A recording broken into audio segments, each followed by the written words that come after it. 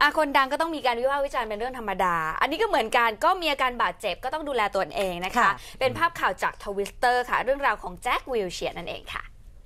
แจ็ควิลเชียร์นะคะกองกลาง size mini อาร์เซนอลค่ะ ก็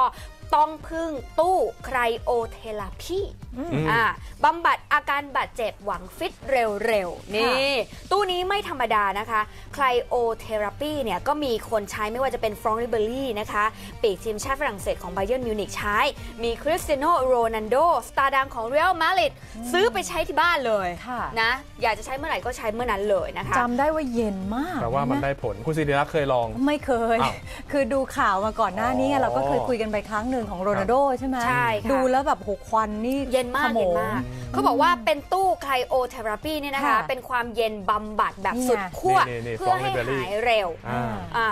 มีเขาบอกว่ามีคำบรรยายใต้ภาพที่เขาลงภาพนี้ลงผ่านทวิตเตอร์นะคะเขาบอกครับว่าแค่ 12 นาทีเท่านั้นอืมค่ะแค่ 12 นาทีเท่านั้นกับอุณหภูมิติดลบ 100 องศาอืม หวังว่าผมคงจะมีชีวิตรอดอุ๊ยแต่หุ่นดูหุ่นดูหุ่นซะก่อนจ้าโอ้แข็งแรงอย่างนี้เออ firm แบบนี้ ไม่มีปัญหาถูกต้องนะจ๊ะเออเย็นอย่างนี้รับได้กระชุ่มกระชวยขึ้นมาเลยนะ ตื่นตื่นตื่นอ่า ดูภาพนี้คุณศิเสริร็รัจกษ์ได้พูดเหมือนมีเครื่องนี้อยู่ที่บ้านอ่านะครับเอออ่าภาพนี้นะคะก็จะเห็นแจ็ควิลเชียร์เนี่ยสวมกางเกงบ็อกเซอร์นะคะ ค่ะตัวเดียวเท่านั้นอืมตัวเดียวเท่านั้น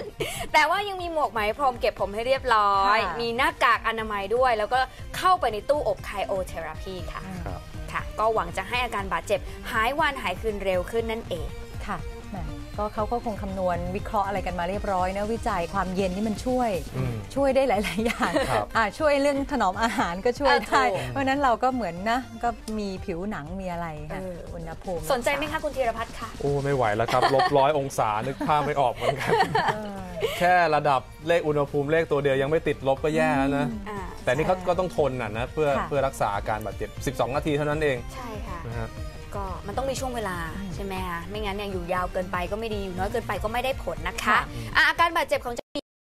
มีเท้าแตกนะคะครับจากเกมอุ่นเครื่องที่ทีมชาติอังกฤษเชื้อเดนมาร์กไปเดนมาร์กไป1ต่อ0เมื่อต้นเดือนมีนาคมที่ผ่านมาค่ะ ขอให้หายเร็วๆนะคะอืม